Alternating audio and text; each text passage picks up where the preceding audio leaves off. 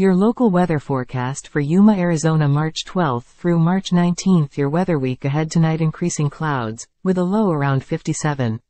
Breezy, with a west-northwest wind 10 to 15 miles per hour, with gusts as high as 25 miles per hour. Monday sunny, with a high near 83. Breezy, with a west-northwest wind 5 to 15 miles per hour, with gusts as high as 20 miles per hour. Monday night partly cloudy, with a low around 57. West wind 5 to 10 miles per hour. Tuesday partly sunny, with a high near 83. Light and variable wind becoming south-southwest 5 to 10 miles per hour in the morning. Tuesday night a 30% chance of showers after 11 p.m. Cloudy, with a low around 65. West-southwest wind 5 to 10 miles per hour. Wednesday a 40% chance of showers.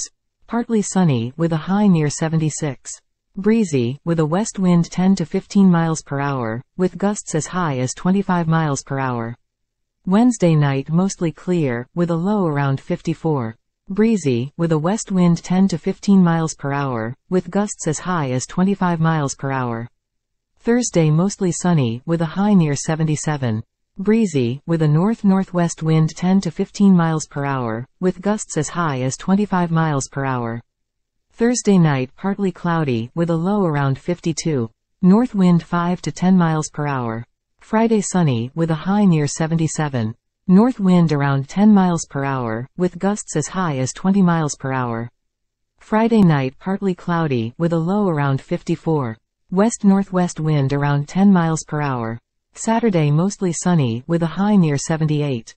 Breezy, with a north wind 10 to 15 miles per hour becoming west in the afternoon. Winds could gust as high as 20 miles per hour. Saturday night partly cloudy, with a low around 55. West wind 5 to 10 miles per hour. Sunday partly sunny, with a high near 79. Breezy, with a west-southwest wind 5 to 15 miles per hour, with gusts as high as 20 miles per hour.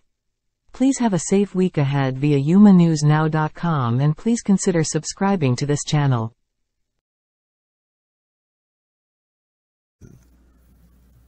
Hi, I'm Sarah Wisdom, Community Relations Manager for the Yuma County Library District. And I want to let you know that the Library District has culture passes available for library card holders.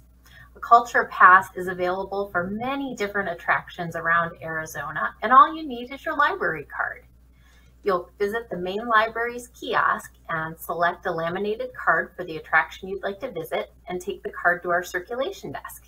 In exchange for the card, you'll receive a receipt with a date on it that shows the seven day span when you can visit the attraction. And the pass is available for two people to attend. For more information, visit our website at yumalibrary.org.